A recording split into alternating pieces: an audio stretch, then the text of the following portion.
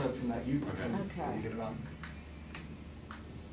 right, yeah. We're back again to Breezin with Bierman. I'm gonna even be more serious. Um, um, Try to be. Linda Cipriel and Dudley Cipriel who It's will be. not Cipriel, it's Cipral. I- That's not sustainable introduction. I'm, I'm not like President Obama, I'm more like the first George Bush or with the names, I do butcher names.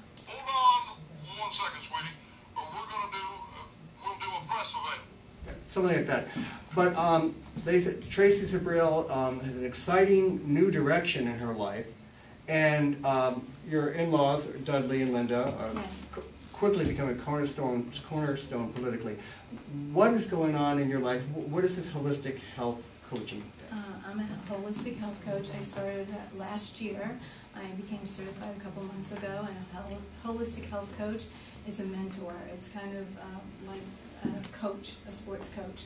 What I do is I mentor people to make uh, positive health choices in their life, and this is done through behavioral and lifestyle adjustments. What about your own journey? Um, your kids, your kids, you have kids. What?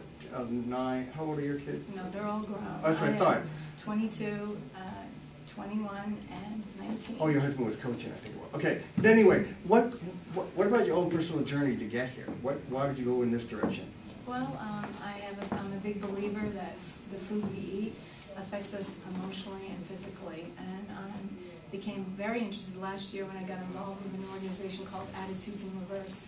Attitudes in Reverse is a uh, non-for-profit organization that uh, educates teens and their parents on suicide prevention and mental health. Well, I say that, I mean, everyone worries about marijuana, we can talk about marijuana, legalize this. What we eat every day is killing us in Mhm. this country. And I, my dad was one of the few doctors who goes, what's your diet? What did you have for breakfast? It's, it's amazing. Mhm. No one brings up this common sense fact. No, most of the food on the shelves today is engineered food. When you think of potato chips and all the things kids grab, and you have to uh, know that that has some kind of effect on their mental health. Prepared processed food. Prepared processed It's food. slowly- I call it engineered food. you walk into a conventional supermarket, it's wall to wall Mhm. prepared processed Right, food. Yeah. yes. So what we want is people to eat organically.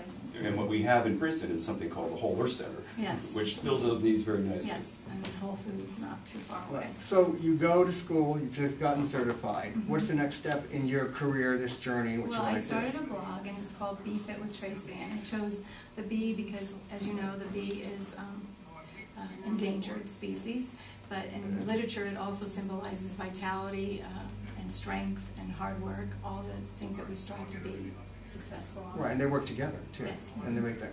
And then what what are you, what um nonprofits are you going to be working for? What's Well, Attitudes in Reverse is, uh, I'm on the board there, and we're gonna do our first five, our second five K run on May eighteenth. to raise awareness? because I'm a big believer that exercise um, contributes to uh, feel-good hormones and it's good for the brain. It's proven. Good for, for the body. Yeah.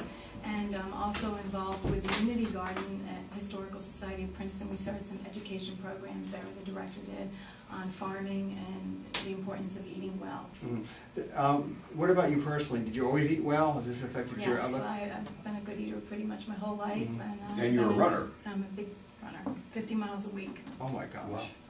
The endorphins must be going. So, um, are you working with individuals right now, though? Yes, I'm actually working with a very special client. Um, she's in remission uh, with, uh, from ovarian cancer, and um, she's trying to compete in a 5K run on May 18th, and I plan to be there with her.